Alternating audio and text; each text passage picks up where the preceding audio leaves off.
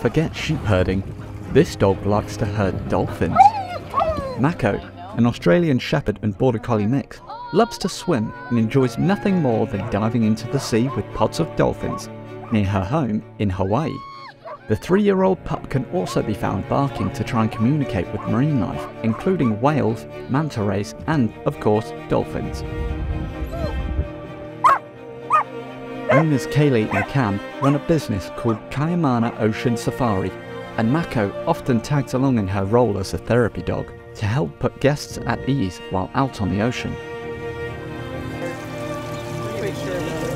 Oh, she's shaking. She's shaking. Oh.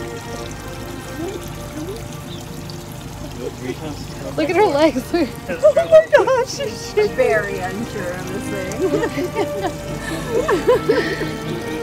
As a puppy, Mako stepped on board a boat before stepping out onto dry land and has loved the water and marine life ever since. How cute is that?